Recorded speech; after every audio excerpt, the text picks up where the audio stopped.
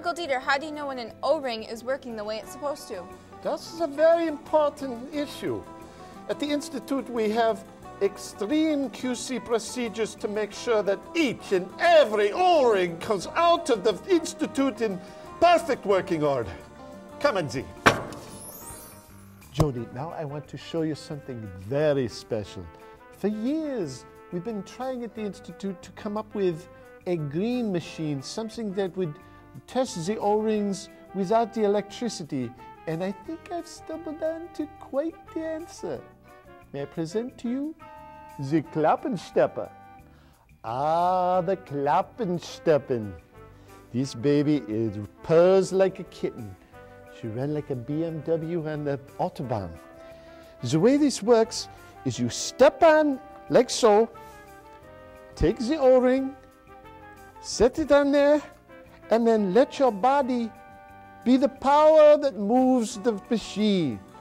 Haschen, Hobel, Haschen, Dobel. Uncle Dieter, do you mind if I try?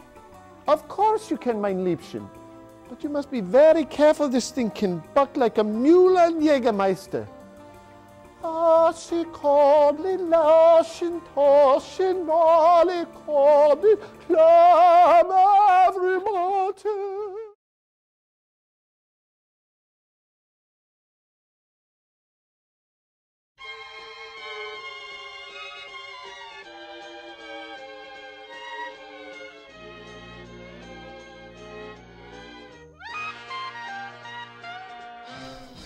Okay, well, looks like your car's ready about an hour. Great, thanks.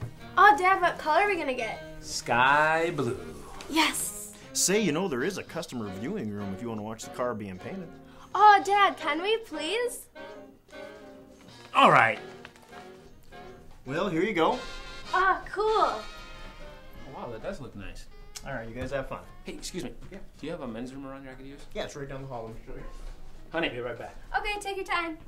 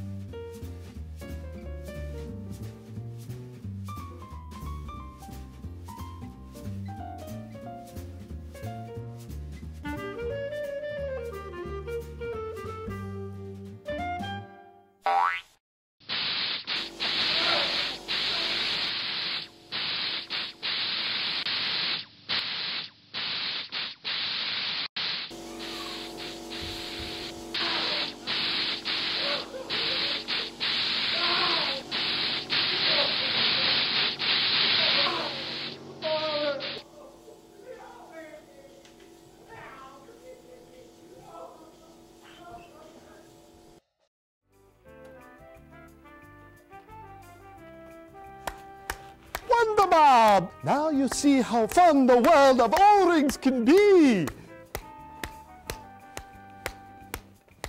Uncle Dieter, thank you so much for letting me come visit with you today. Ah, you're welcome, my Liebchen. But you know, it's a shame.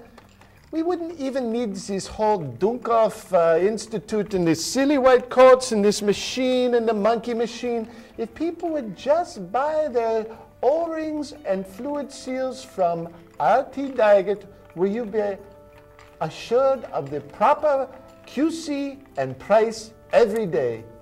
Thank you. Bye bye. Au revoir. Hasta luego. Bye bye.